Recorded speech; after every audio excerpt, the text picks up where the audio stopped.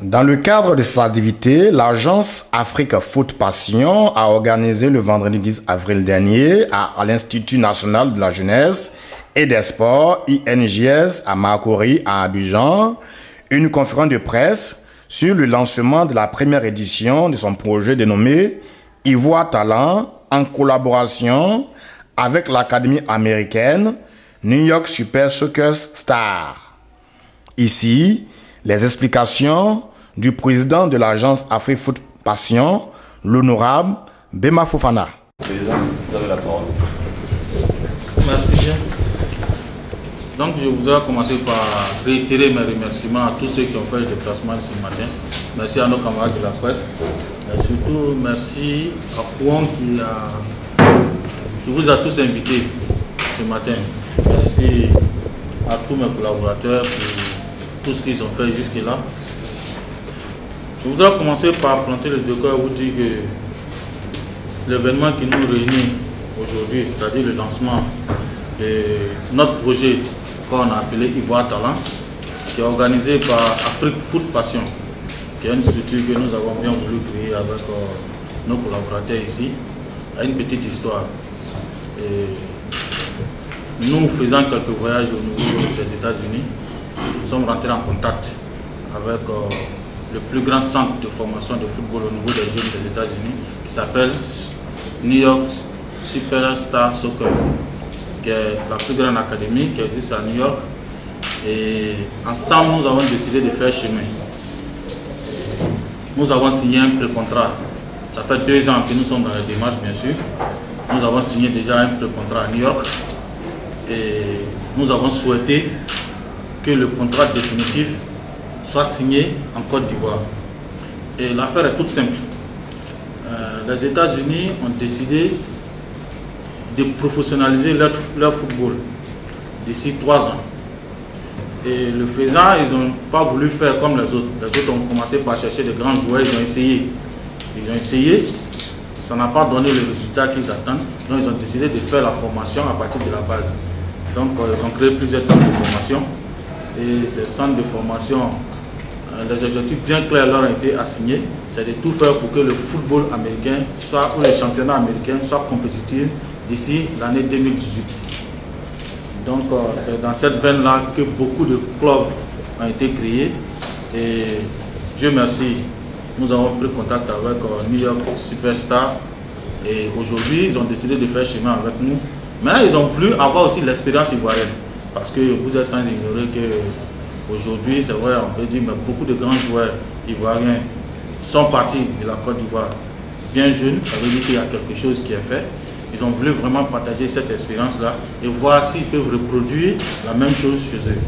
Et donc, euh, ensemble, on a convenu que le 19, euh, le manager général de New York Superstar, qui est M. Toby, qui a lui-même été joueur de Manchester United, a lui-même été joueur de Manchester United, sera avec euh, une équipe en Côte d'Ivoire pour qu'on partage un peu cette expérience.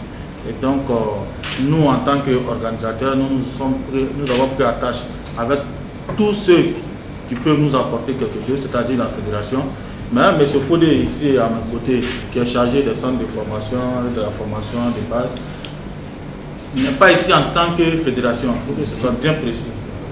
Il est ici en tant que membre de l'équipe. Nous l'avons porté, c'est un grand frère que nous connaissons. Nous savons qu'il a une bonne expérience, nous savons qu'il peut nous apporter quelque chose. Nous l'avons approché pour qu'il puisse vraiment nous aider à rendre la chose un peu plus digeste. Donc, euh, je dois lui dire merci d'avoir accepté de nous accompagner avec le frère Isaac qui nous accompagne depuis le début du projet. Je pense que ça fait un an que M. Foudé et nous on en parle. Et je voudrais surtout féliciter notre jeune sœur Awa Samari qui est à côté de nous ici, qui depuis le départ a commencé à faire les démarches. Je pense que tous les centres de foot d'Abidjan la connaissent les dimanches, elle a commencé. Et Konaté Sami, qui est de, façon administrative, et M. Bali Moussa, ils sont vraiment en contact avec tous nos partenaires. Et moi, je ne fais que chapeauter. Vraiment, je voudrais vous dire merci pour tout ce que vous nous apportez. Mais on a mis une équipe. Et cette équipe-là, on n'a pas voulu que ce soit seulement des organisateurs parce que Vous savez que c'est pas facile. Il faut, on a besoin de tout le monde. Et vraiment, c'est ouvert. Parce que, comme le disait le président de l'Assemblée nationale, nous, c'est une diplomatie parlementaire que nous sommes obligés de, vraiment pratiquer. Et partout où nous nous trouvons, il faut qu'on apporte quelque chose à la Côte d'Ivoire. Nous sommes allés à d'autres missions, on a profité, Dieu merci, ça a marché, on espère que ça va nous apporter un peu plus. Et donc, euh, le 19, l'équipe arrive en Côte d'Ivoire.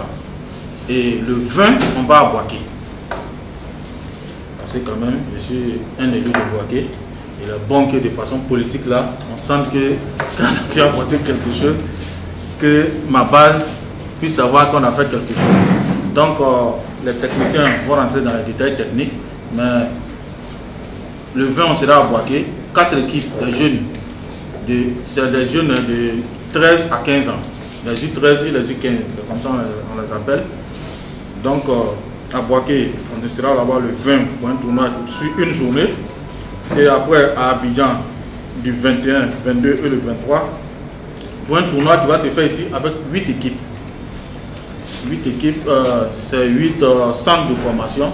Et on va vous dire les critères et les choix qui nous ont guidés parce que le partenariat se fait sur des bases vraiment bien précises. C'est pour ça que beaucoup n'ont pas entendu beaucoup de bruit. Parce que pour pratiquer le sport aux États-Unis, il faut être diplômé. Tout professionnel, en tout cas à 21 ans, doit avoir au minimum le bac. Sinon, tu ne peux pas participer, même au championnat de basket, au championnat, n'importe quelle compétition officielle, tu ne peux pas participer. Donc, c'est cette expérience-là qui nous a nous attirés pour qu'on vienne partager ça avec les jeunes ici. Parce qu'il y en a qui savent jouer au ballon, ils ne font plus rien, ils restent vraiment dans le foot. Et ce n'est pas tout le monde qui a la chance de devenir professionnel après. Et si ça ne marche pas, ça devient notre problème. Alors que si tu suis les deux, si ça ne marche, tu peux te blesser, il y a beaucoup de facteurs, c'est vraiment un métier à risque. Et puis après, il y a d'autres choses, il faut pouvoir te prendre en charge au cas où ça ne marche pas. Parce qu'on a vu des talents ici, hein, mais qui n'ont pas vraiment été bien exploités et après qui n'ont rien eu. Donc je pense que cette expérience américaine-là euh, nous arrange beaucoup, peut se dépeindre sur la Côte d'Ivoire et puis dire aux jeunes qu'on peut aller à l'école, on peut avoir la tête pleine et puis avoir ce talent-là au cas où. Donc euh, c'est ce qui nous a attirés. Mais chez eux, ce qui nous a attirés chez eux, c'est qu'ils pensent que nous, on a vraiment des vrais talents ici qui peuvent booster l'orgueil des jeunes américains. Parce qu'un jeune américain, quand tu lui dis, ah lui là, il, fait ça, il a des tel pays, il se dit, mais si moi, américain, si lui il fait ça et voilà, c'est que moi, américain, je dois faire deux fois plus. C'est pour vraiment booster leur orgueil qu'ils ont décidé de venir. Sinon, le partenariat se fait déjà avec d'autres pays. Ils ont le Kenya, avec qui ils ont le même partenariat. Ils ont le Brésil, avec qui ils ont le même partenariat. Et maintenant, c'est la Côte d'Ivoire qui va, qui va venir pour le troisième pays avec euh, euh, cette équipe. Donc, euh, faut forcément, pour, être, pour participer à ce tournoi, il faut appartenir à un centre de formation. Ça, c'est le premier critère. Deuxième critère, il faut avoir entre 13 et 15 ans. C'est vraiment important pour nous. Il faut avoir entre 13 et 15 ans. Et je pense que l'équipe technique va dire comment on a fait. Parce que il ne faut pas sélectionner pour sélectionner. Il y a des gens, quand on les appelle, ils disent non, on a 13 ans, alors qu'en réalité, ils ont 20 ans. Il y en a qu'on appelle, alors qu'en réalité, ils ont 15 ans. Donc on a demandé à ce que ceux qui font le recrutement de vérifier non seulement avec les centres de formation ce qu'ils ont déjà fait, mais d'aller même dans les écoles. D'aller même dans les écoles pour voir leur cursus et de vérifier effectivement si c'est des enfants qui, ont euh, qui sont vraiment dans cette tranche d'âge-là. C'est important pour nous. Et deuxièmement, il faut avoir, euh, troisièmement, il faut avoir le talent nécessaire vraiment pour venir épater ceux, qui arrivent. Donc voilà un peu en gros les, les critères qui nous il y a d'autres critères hein, annexes, peut-être les techniciens vont, vont, dire, mais en tout cas, nous, voilà les critères qui nous ont guidés. Et nous pensons que en Côte d'Ivoire, il y a beaucoup de talent. Nous pensons que beaucoup de clubs auraient bien voulu participer à, ce petit tournoi que nous organisons, parce que le tournoi, juste on l'a organisé pour en prélude de la signature de notre partenariat.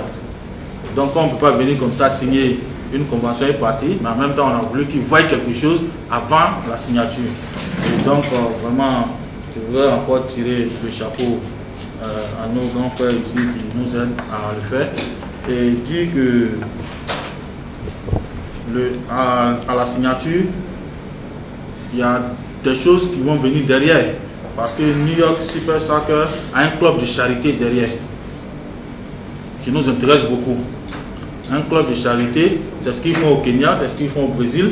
Ils construisent euh, des infrastructures sportives pour des quartiers ou des villes un peu défavorisées.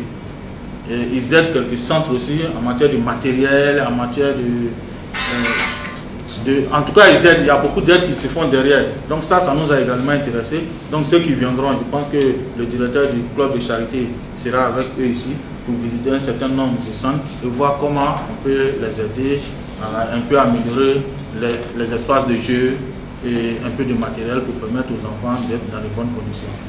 Et je pense que, en gros, voilà ce qu'on peut dire aujourd'hui pour cette cérémonie. Mais au niveau politique, vous avez vu qu'on a placé la manifestation sur, euh, la haute présidence du ministre d'État, le ministre Amen Bakayoko, qui est président d'honneur d'Afrique Foot Passion, en compagnie du ministre Diki Kounate.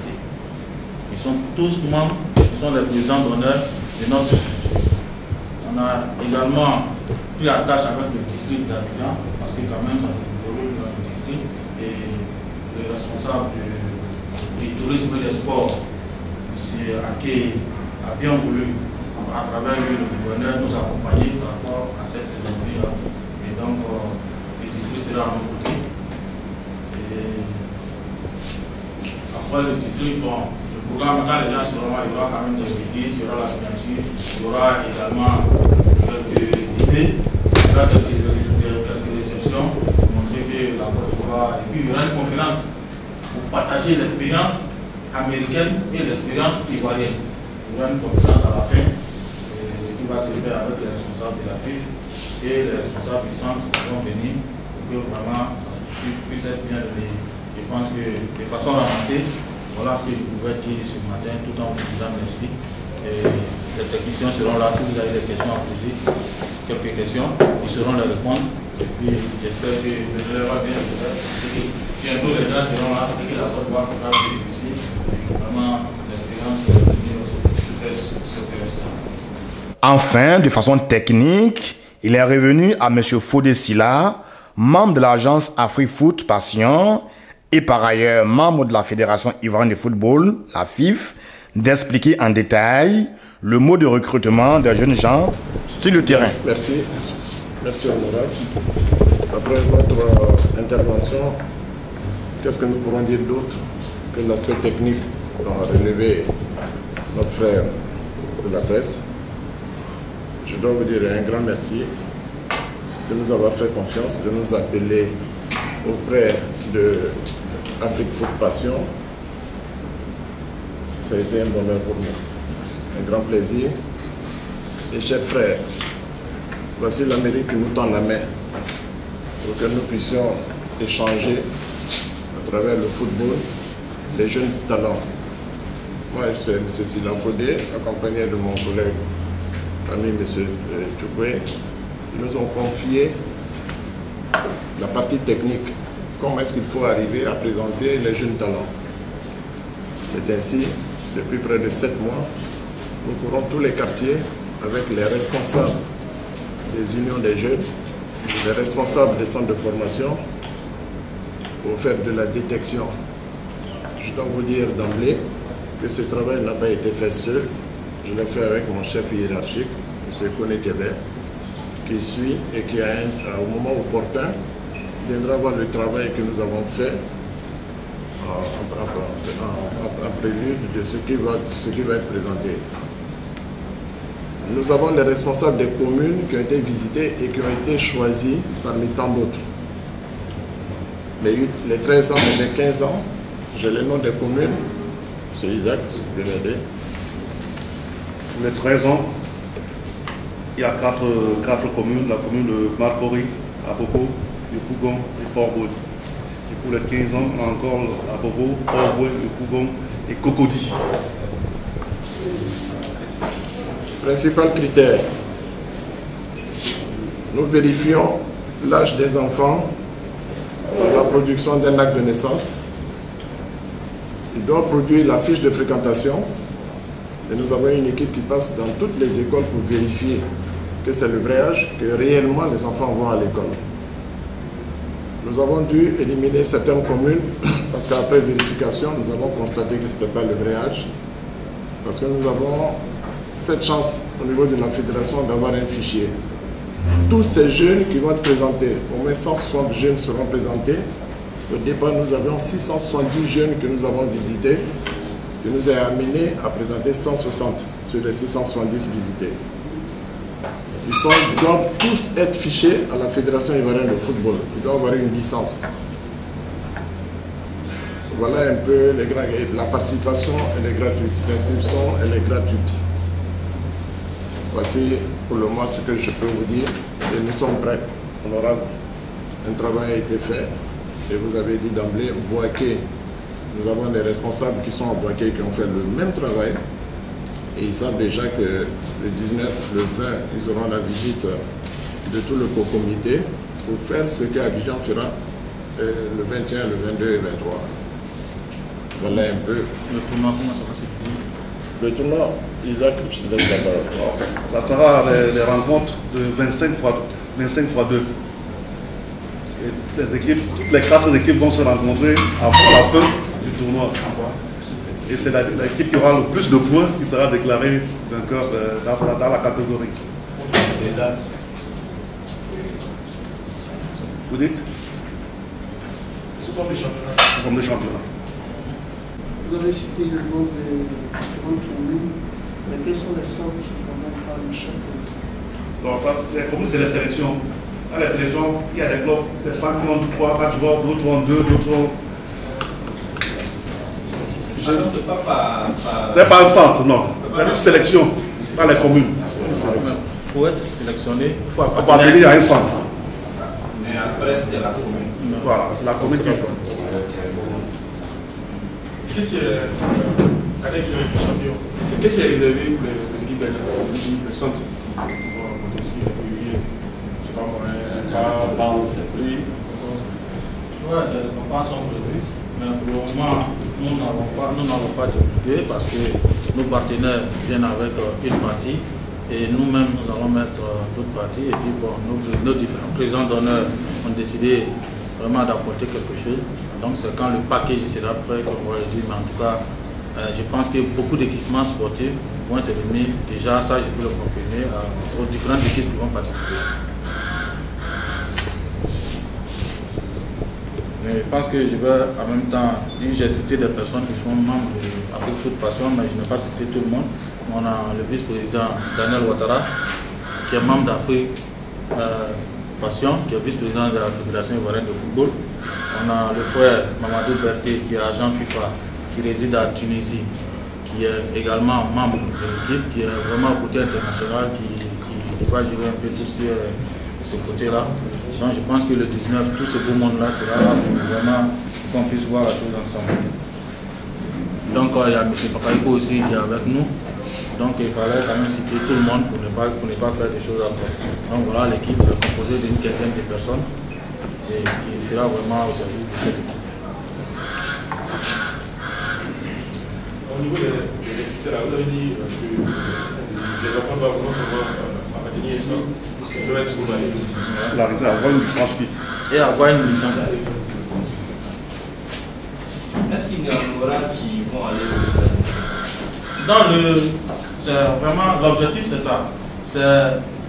Il y aura chaque année, parce que je pense que c'est un partenariat qui va se signer sur 10 ans. Il va se signer sur 10 ans. Et chaque mois d'avril, une équipe des États-Unis, normalement, viendra ici.